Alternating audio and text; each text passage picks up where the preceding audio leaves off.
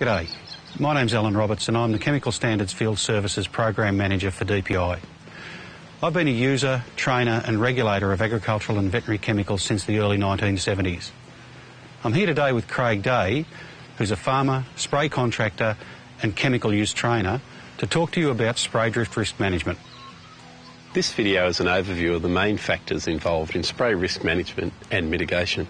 There are several factors you must consider before you pour the chemical from the drum.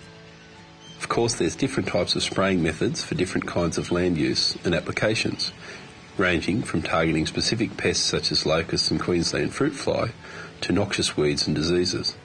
But general chemical use principles remain the same.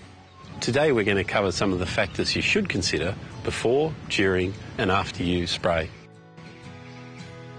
Spray drift has been an issue for as long as I can remember, but its importance to the chemical user really took off in the 1980s with increased plantings of canola and lupins and the increased planting of horticultural crops next to broadacre farms.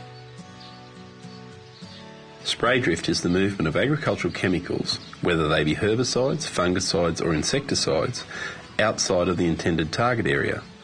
This off-target movement can be as droplets, particles or volatile vapours. Years ago, the broadacre cropping areas of Victoria were a sea of cereals, mainly wheat, barley and oats with some annual pastures to provide stock feed.